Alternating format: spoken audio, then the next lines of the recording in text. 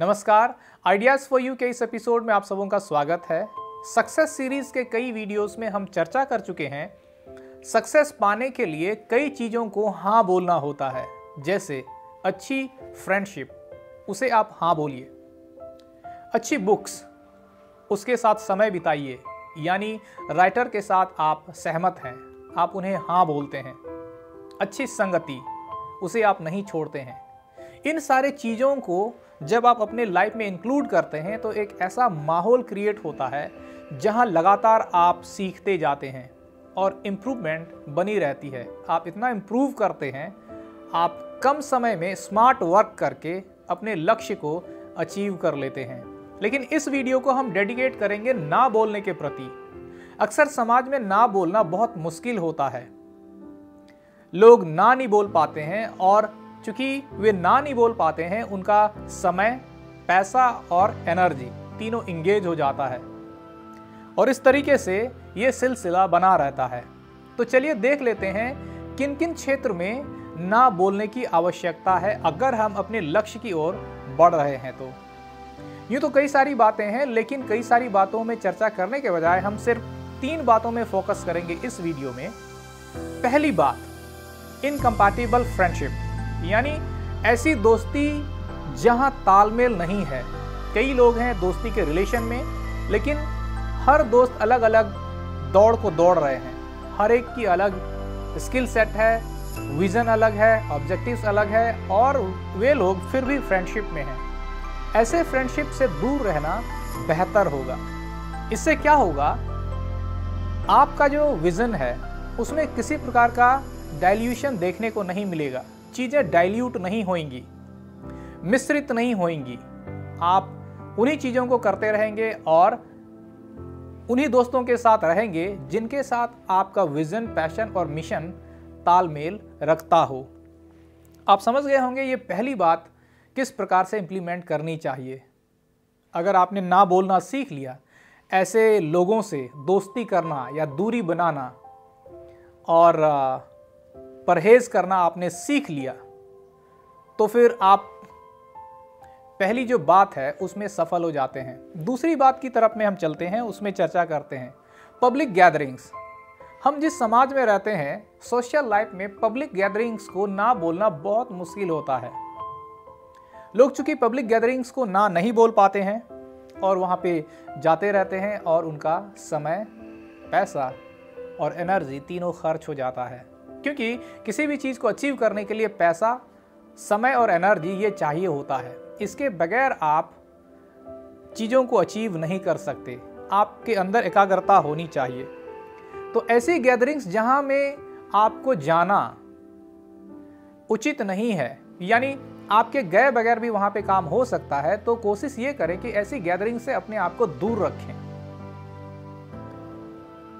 लेकिन कई ऐसी गैदरिंग्स होंगी जहाँ आपको जाना ज़रूरी है। आपके बगैर वो गैदरिंग कंप्लीट नहीं होगी। कहीं पे आपको स्पीचेस देने हैं, आपको टीचिंग्स देने हैं, कई सब्जेक्ट्स को फैसिलिटेट करना हो तो आप बेशक वहाँ पे जाइए। पारिवारिक सभाओं में आप जाया कीजिए, लेकिन यूँ ही आप पब्लिक गैदरिंग्स में टहलते मत रहिए। हर इनविटेशन को आप हाँ मत बोलिए। इसी में आता है पब्लिक गैदरिंग को ऑर्गेनाइज करना। कई बार घरों में पब्लिक गैदरिंग्स ऑर्गेनाइज करी जाती है। अगर किसी का बर्थडे हो, बेशक आप गैदरिंग ऑर्गेनाइज कीजिए। लेकिन हर इवेंट में ऑर्गेनाइज करने की इस प्रकार की जो गैदरिंग है, वो ज़रूरी नहीं है। अगर आप हर चीज़ों में इवेंट गैदरिंग करते रहेंगे अपने घर में भी, लोगों का आना जाना बना रहेगा। टाइम पैसा और एनर्जी आपके साथ साथ आपके परिवार के लोगों का भी खर्च होता रहेगा।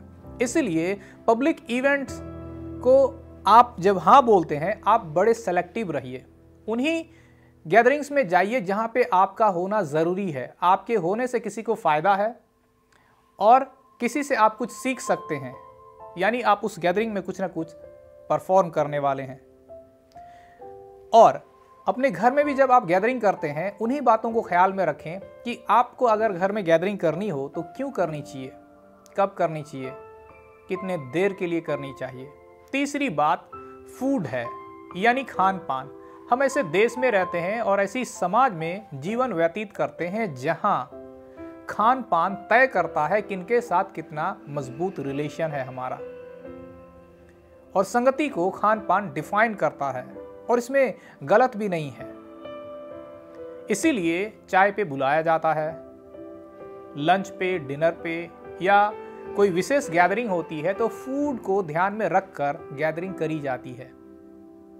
लेकिन एक लीडर को बड़ा सेलेक्टिव होना पड़ेगा कि वो क्या खाएगा और क्या पिएगा। यूँ तो अगर जनरली मैं कहूँ, जो प्रोहिबिटेड चीज़ें हैं, उसको तो नहीं खाना चाहिए, नहीं पीना चाहिए। लेकिन उसके अलावा भी कई सारी ऐसी चीज़ें हैं, जो हेल्थ के लिए ठीक नहीं होता है। जैसे कई ऑयली चीज़ें आप लगातार खा रहे हैं। अगर आप बड़े गोल को अचीव करने के लिए आगे बढ़ रहे हैं तो खान पान में ध्यान देना बहुत ज़रूरी है।